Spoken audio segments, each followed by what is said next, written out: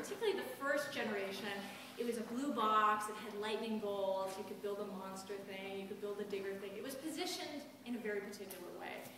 And so the group said, how can we take this same idea, you've got a small computer, you've got four types of input, four types of output, but then you add craft materials. What would happen if you had these technology components and treated them like craft components and added googly eyes and pom-poms and pipe cleaners?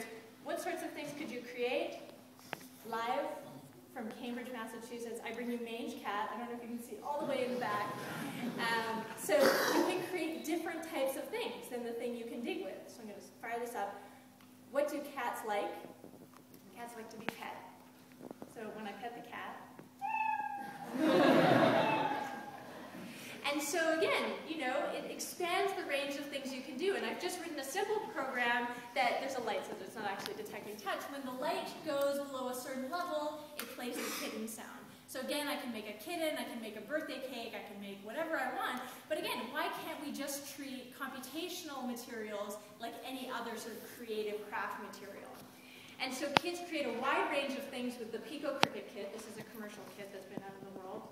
Um, so this was a girl in Taiwan who created light-up shoes with the Pico Cricket kit. This young man created a jukebox with Pico Crickets. This girl was tired of her brother breaking into her room and reading her diary, so she created a door alarm. so no matter what you're creating, you're engaged in a process, a process that we call in our group the creative learning spiral. And so I, I, wouldn't, I wouldn't read this too literally. So there are multiple stages and you can go between them. The idea is it's iterative, these iterative creative design processes. So you start with an idea, you imagine what's possible, you actually engage in building it, you test it out, you share it with a friend, you reflect on your experiences, and then you start all over again. So it's this idea that it's not, you start, you end, they're just waypoints, things to experiment with. And so this was a picture of a boy at a workshop in Iceland, a Pico Crickets workshop in Iceland.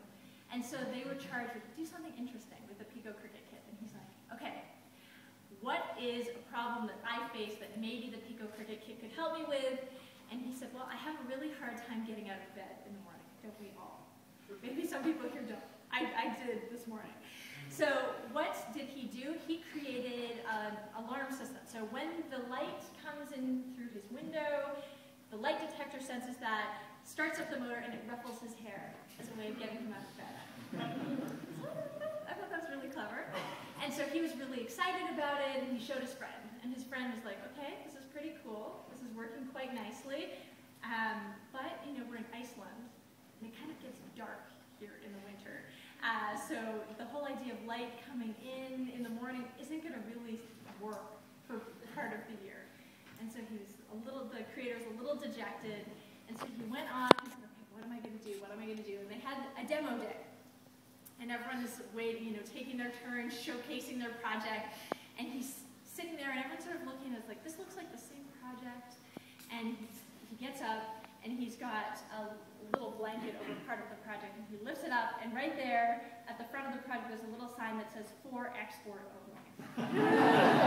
so it's a way of dealing with challenges. You know, how do you creatively deal with design challenges? That's just one way. There are other strategies. But no matter what you're doing, you're engaged in this process of designing and creating. So we were really excited by all the things with Mindstorms and with Pico Crickets, but a challenge of something like this is as soon as you have hardware, it starts to get expensive, right? So the Mindstorms kit is 250 US uh, dollars. Even this is, you know, several hundred US dollars. So we wanted something that would enable a broad section of people to participate. And so obviously, a lot of you have seen Scratch as by the, the introduction. So we wanted something as easy as snapping Lego bricks together to be able to create your own games, stories, animations, art. So of those people who have seen Scratch, the application, how many of you have contributed or looked at the website? Okay, that's also a lot of people. Uh, so for those who haven't seen it, there's this website, much like YouTube where you can share your videos. The Scratch website is a space where people can share their interactive creations. And then any project on the website, you can interact with it, you can view it, you can, there's a social networking piece, you can see how many other people have viewed your project, how many people have loved it.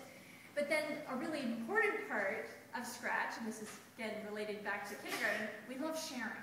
So anything that you post on the website you can download and it becomes a powerful opportunity to learn from what others have created. So here is that project that we were just looking at on the website. I download it, I can see all the bits and pieces that go into it and all the code. So I wanted to talk a bit about sort of its uptake. So there are more than 800,000 people registered for the site. Of those, more than 200,000 have created projects. This is the demographic of Scratch. So we're sort of like, our peak is at like 12, but there's this really long tail of participation. Now some of that is actually adults participating in the Scratch Online community. Some of this is self-report, so we have 99-year-olds in the, the, Arctic who are you know, using Scratch. But there is an active adult community as well participating. People are using Scratch all around the world. It's very popular in England as in the US, but it's being used elsewhere as well. So these are sort of where it was used last month. And then one last thing about scale, more than 1.8 project 1.8 million projects have been shared by young people on the website. So there are two new projects on the website every minute. So if you ever have some time on your hands, the Scratch website always has some new content for you. So a question I'm often asked